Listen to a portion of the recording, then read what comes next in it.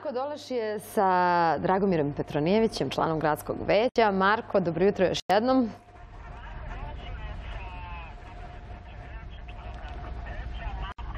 Marko.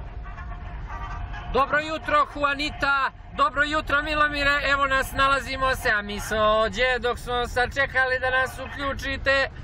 Mi smo prijezdili u Crnu Goru vod.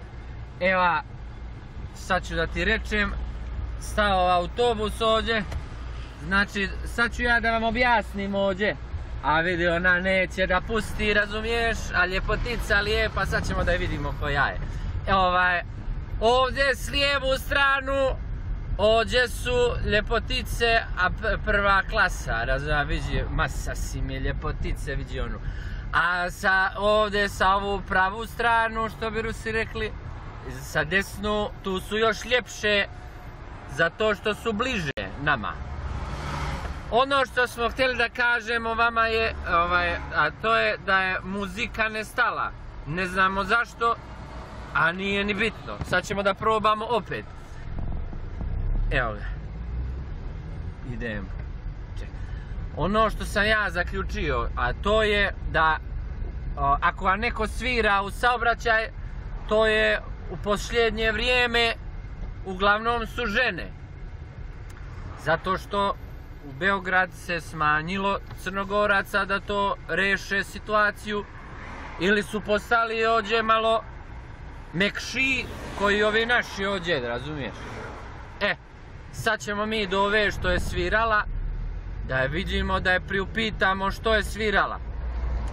Znači, ako vam svira onako jako, ovako, to znači da je žena. To ti muškarac više neće tako svirati, osim ako je neki mlakonja. Čekaj, nema je ovdje. A ovaj, ono što smo htjeli da kažemo je da je ovdje u centru Beograda mi smo putovali dakle od Borče čekajući uključenje stigli smo do 29. novembra. Gužva je osobita, i ovaj, ne znamo iz kojih razloga, verovatno zato što se popravljaju ulice ovaj, dole 27. marta i tako dalje.